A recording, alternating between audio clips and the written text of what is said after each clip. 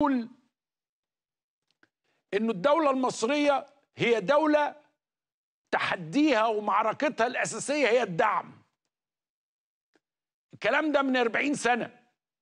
من أول ما ظهر الدعم في عهد الرئيس جمال عبد الناصر.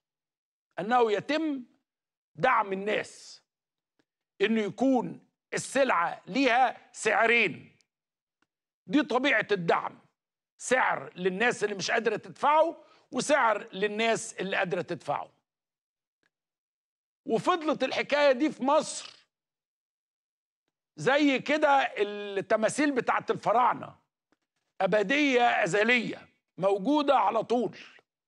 إنه الدولة يجب إن هي تقدر دائما توفر السعرين دول.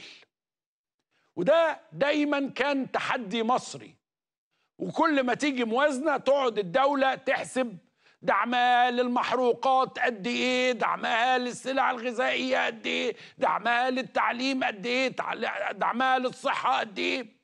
هذا هو الأمر. وفي حقيقة الأمر إما تتكلم على دولة فيها أكتر من 60% ناس في معدل الفقر ودي أرقام مصرية رسمية يبقى دائما الدولة لازم تقدر تتصرف ولازم تدعم ولازم تقف جنب الناس. دي مسألة خالصة لغاية أما يصعد الناس من تحت خط الفقر ويطلعوا فوق خط الفقر ويبقى البشر كلها قادرة على إنها تعيش عيشة كريمة. ولكن إلى أن يأتي هذا الوقت يظل دور الدولة مطلوب إنه التعليم يكون متاح. بمصاريف قليلة مجانا يكون متاح. الصحة تكون متاحة العلاج. بمصاريف قليلة مجانا يكون متاح.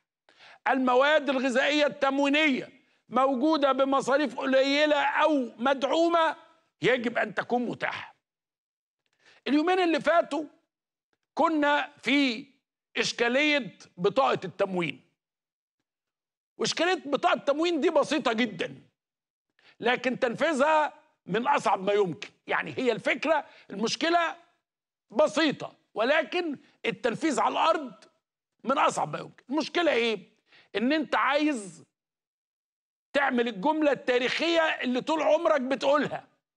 أن يصل الدعم لمستحقيه.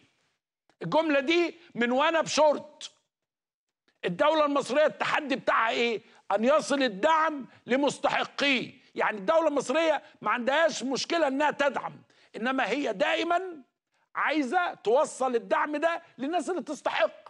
أنا ما أقدرش أوصل الدعم ده لحد ما يعني ده هدر وده مش عدالة لأنه في ناس محتاجة. فتظل عندك المعادلة كالآتي. إزاي أحقق العدالة؟ إنه الناس التي تستحق الدعم تاخده وإزاي في نفس الوقت أرشد الدعم إن أنا مرميهوش في الأرض. زي ما جينا اكتشفنا حاجات كتير أسماء ناس متوفية أسماء ناس لا تستحق أسماء ناس عندها فواتير موبايل بآلافات كل ده اتشال. كل ده لما ابتدى يبقى عند الإدارة المصرية قاعدة بيانات للبشر. يعني انت لما يكون عندك فاتورة موبايل ب 1500 جنيه مثلا أو ب 800 جنيه أو ب 900 جنيه انت ليه بتاخد بطاقة تموين؟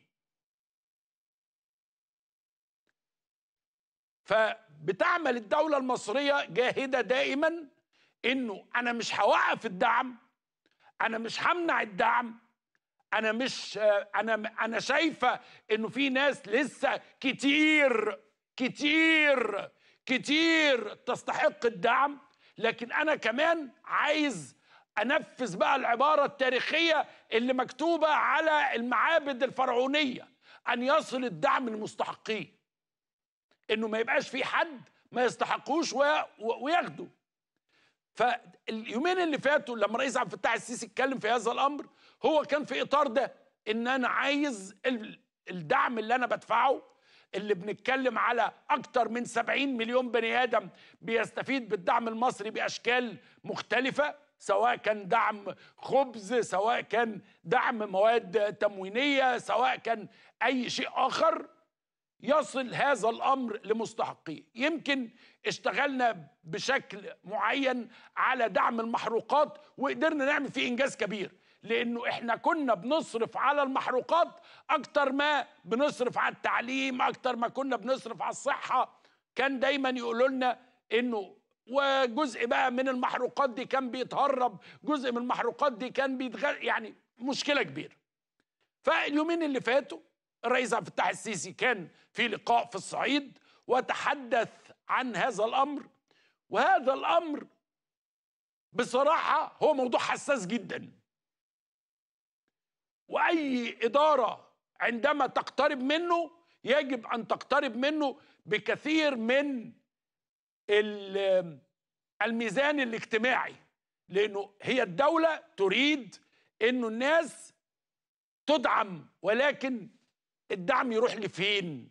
من يستحق ومن لا يستحق هنا بقى تتفرع بقى الأمور ويبتدي يبقى فيه ناس تتكلم الكلام بتاع الرئيس له معاني واضحة جدا في هذا الأمر. حبينا نفهم بس ماذا سيحدث. يعني البطاقة التموينية دي هتبقى من حق مين؟ الأسرة اللي عددها قد إيه؟ اللي فات واللي جاي ولا اللي, فات وجاي مع بعض. أشياء كثيرة ليها علاقة بالتنفيذ. يعني مثلا كان في كلام عن دعم العيش. وناس كتير تخيلت إن دعم العيش ده بكرة. يعني الكلام ده حصل من ثلاث أشهر مثلا أو أربع أشهر. ولكن ما تمش تفعيل هذا الأمر. فضل العيش لسه موجود بنفس السعر. فهذه الأمور اللي بيتم المناقشة فيها جوه المجتمع إحنا هند ده على فكرة سؤال تاريخي من يستحق بتاع التموين؟ تاريخي. تاريخ يعني مصر ما بتعملش ويجي وزراء تموين ويجي وزراء تخطيط ويجي رؤساء وزراء ويجي رؤساء جمهورية يتكلموا في الموضوع ده ويتعاملوا مع هذا الأمر. في ثلاث أربع ملفات في مصر كده تاريخيين. ولكن أن الأوان إنه يتم التعامل مش إن إحنا ما نديش عشان أكون واضح في كلامي مش ما نديش الناس الدعم. يجب كلنا أن نتفق من يستحق الدعم. إن إحنا مش هندي الدعم لحد مش عايش في البلد. حد بيقول لك أنا باخد التموين أنا بتصدق بيه أنا بديه لناس تانية. حد مثلا أسرة مسافرة أسرة عندها دخل أعلى من ورغم ذلك بتاخد كل هذه الأمور يجب وضع محددات ليها.